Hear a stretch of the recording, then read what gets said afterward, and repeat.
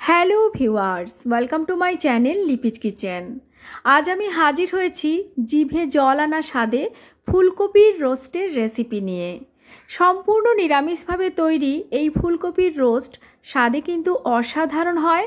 লুচি, পরোটা plain rice কিংবা পোলাও সব কিছুর সঙ্গেই সার্ভ করা যাবে। আশা করছি আপনাদের দারুণ লাগবে। আমার চ্যানেল এখনও না সাবস্ক্রাইব করা থাকলে চ্যানেলটি সাবস্ক্রাইব করার অনুরোধ রইল। এখানে আমি একটি মাঝারি সাইজের ফুলকপি ডুমো ডুমো করে কেটে নিয়েছি। কেটে জলে ধুয়ে রেখেছি আর ডাঁটির দিকটাকে এভাবে কাট লাগিয়ে নিয়েছি যাতে করে ফুলকপির ডাঁটির দিকটাও ভালো করে রান্না হতে পারে। প্রথমেই আমি একটি কড়াইতে নিয়ে নিচ্ছি বেশ কিছুটা জল। ফ্লেম অন করে এই জলের মধ্যে মিশিয়ে দিলাম হাফ টিস্পুন মতো লবণ। জল ফুটতে শুরু করলে ফ্লেম অফ করে তারপর এর মধ্যে দিয়ে দিচ্ছি ফুলকপি। ফ্লেমটা অফ করেই কিন্তু ফুলকপিগুলো গরম লবণ জলে ভিজিয়ে রাখব মোটামুটি চার পাঁচ মিনিট। এই পর্যায়ে ফুলকপিকে কিন্তু ভাপানো যাবে না, জাস্ট গরম জলে ভিজিয়ে রাখতে হবে। এতে করে এর মধ্যে কোনো রকম কোনো পোকা থাকলে সেটা কিন্তু বেরিয়ে আসবে। এভাবে ফুলকপি ভিজতে থাক, সেই সময় আমি এর মশলা তৈরি করে নেব। আর তার জন্য নিয়ে নিচ্ছি একটি বড় বোল।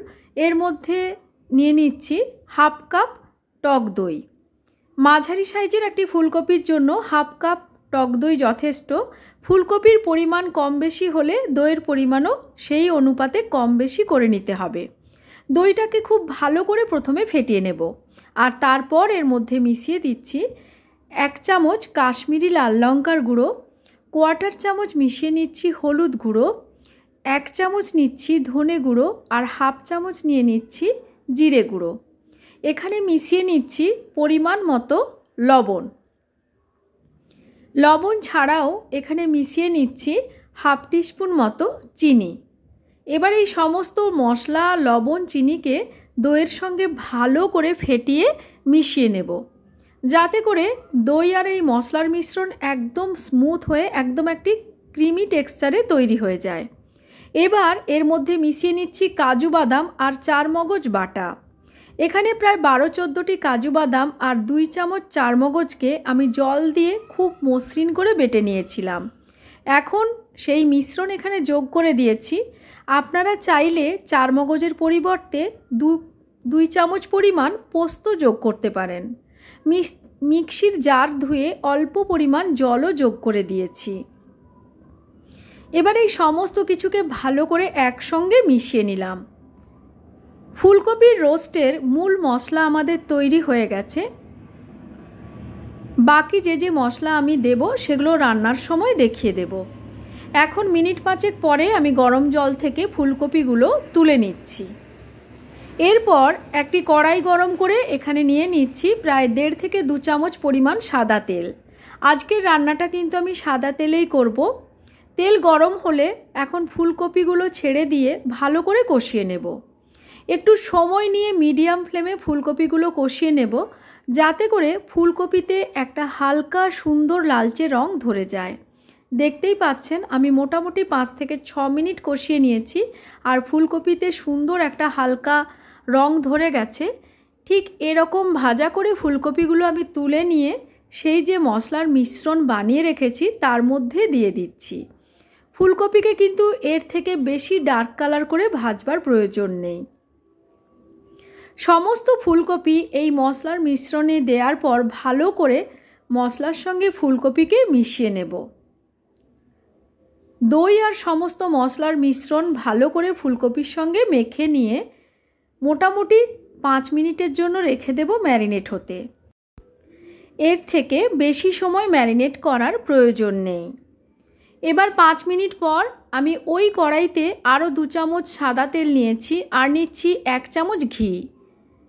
রোস্ট বানালে এক চামচ ঘি যোগ করে দিতে হবে সাদা তেলের সঙ্গে, তাতে করে রান্নার স্বাদ কিন্তু অনেক বেশি বেড়ে যায়। এবার ঘি আর তেল গরম হতে শুরু করলে এখানে দিয়ে দিয়েছি দুটো দারচিনি স্টিক, তিনটে ছোট এলাচ, একটু মুখ ফাটিয়ে দিয়েছি, চার পাঁচটা লবঙ্গ, দিয়েছি চার পাঁচটা গোটা গোলমরিচ, তেজপাতা, আর দিচ্ছি সা জিরে কোয়াটার চামচের মতো। আপনাদের কাছে সা জিরে না থাকলে প্লেন সাদা জিরেও যোগ করতে পারেন। ফোড়ন থেকে মিষ্টি গন্ধ বের হলে এখানে যোগ করে দিচ্ছি আদা, কাঁচা লঙ্কা বেটে। এক ইঞ্চ পরিমাণ আদা আর দুটো কাঁচা লঙ্কা আমি জল দিয়ে মিহি করে বেটে রেখেছিলাম। আদা, কাঁচা লঙ্কাকে লো ফ্লেমে রেখে মিনিটখানেক কষিয়ে নেব যাতে করে কাঁচা গন্ধ চলে যায়। আর তারপর সেই ম্যারিনেট করা ফুলকপি মশলা সমেত ঢেলে দিলাম। এই পর্যায়ে ফ্লেমটাকে বাড়িয়ে দেব। মিডিয়াম টু হাই ফ্লেমে ভালো করে ফুলকপিকে এই পর্যায়ে কষিয়ে নিতে হবে।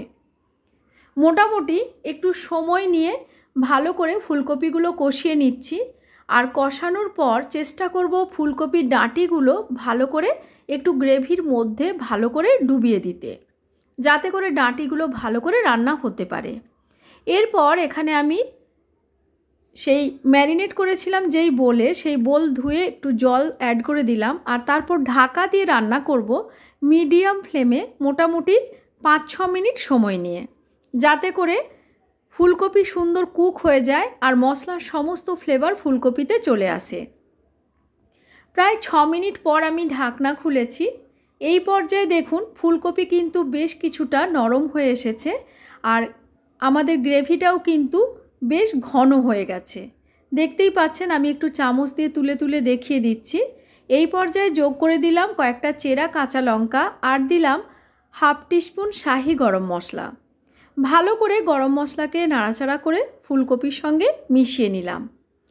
ভালো করে মেশানো হলে এবার কিন্তু আবারও ফুলকপিগুলো গ্রেভির মধ্যে ভালো করে ডুবিয়ে দেব।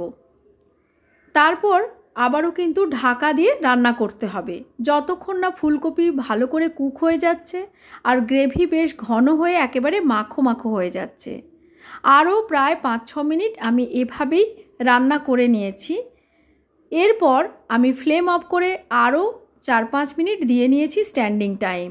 এবার দেখুন আমি ঢাকনা খুলে দিয়েছি। ফুলকপির রোস্ট কিন্তু আমাদের একদম সার্ভ করার জন্য রেডি। দেখতেই পাচ্ছেন, প্রত্যেকটা ফুলকপি কিন্তু একেবারেই গোটা আছে, কোনোটাই ভেঙে যায়নি। অথচ সুসেদ্ধ হয়েছে, গ্রেভিটাও কিন্তু সুন্দর তেল রিলিজ করে দিয়েছে। গ্রেভিটা একেবারে মাখো মাখো হয়ে গেছে। দেখতে যতটা সুন্দর খেতেও কিন্তু অত্যন্ত সুস্বাদু হয়। আশা করছি আমার আজকের এই ফুলকপির রোস্টের রেসিপি আপনাদের ভালো লেগেছে। ভালো লাগলে লাইক, শেয়ার ও কমেন্ট করার অনুরোধ রইল। আজকের মতো এই পর্যন্তই। Thanks for watching my video.